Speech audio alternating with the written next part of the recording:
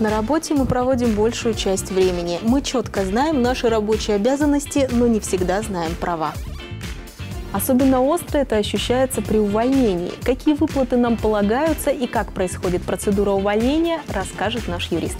Чаще всего сотрудника увольняют по его собственному желанию. Работник должен предупредить работодателя о своем увольнении минимум за две недели. Срок начинает э, исчисляться со следующего дня после написания заявления об увольнении. Однако законодательство для некоторых категорий работников устанавливает иной срок.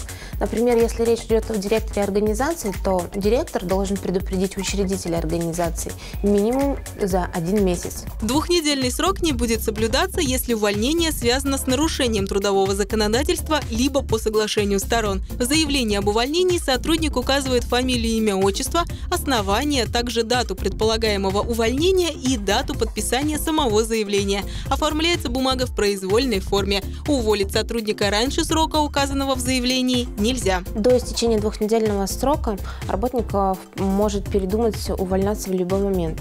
Для этого ему э, необходимо написать заявление об отзыве своего заявления об увольнении – и если речь идет о предоставлении очередного отпуска с последующим увольнением, то такое заявление необходимо написать до начала отпуска. В этом случае существует единственная причина для отказа, если на ваше место переводят сотрудника от другого работодателя. В остальных случаях сказать «нет» вам не могут. В последний рабочий день работодатель обязан рассчитаться со своим сотрудником и выдать ему все документы. Это трудовая книжка, справка 2 НДФЛ и другие бумаги по письменному запросу сотрудника. Если вы не смогли забрать ее вовремя, работодатель обязан направить уведомление о необходимости забрать трудовую книжку или получить согласие на отправку ее почтой. Если же такие меры не предпринимались, то работодатель может понести материальную ответственность. Например, получили вы через полгода свою там трудовую книжку, да, там в, каких, в силу каких-то причин. Так вот, за этот период, то есть э, с момента, когда фактически ваша э, работа у этого работодателя закончилась,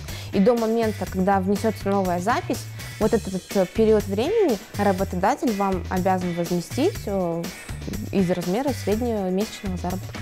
Это то, что касается официального трудоустройства, но нередки случаи, когда недобросовестные работодатели прикрывают трудовые отношения договором гражданско-правового характера. Если вы будете там, работать с 9 до 5, пятидневную рабочую неделю. Не может идти речи о гражданско-правовых договорах. Это трудовой договор. Особенно внимательно к трудоустройству стоит относиться работникам вахтового метода в условиях Крайнего Севера или районов, приравненных к нему. Такой вид работы, дополнительной гарантии и компенсации четко регламентированы в Трудовом кодексе Российской Федерации и обязаны к соблюдению. При оформлении договора о возмездном оказании услуг работодатель снимает с себя такую ответственность. Тем более при увольнении никаких никаких гарантий может и не быть. Пожалуйста, смотрите то, что вы подписываете. У нас были случаи, когда сотрудники подписывали бумаги, например, о получении заработной платы в наличных денежных средствах, хотя этого факта не было.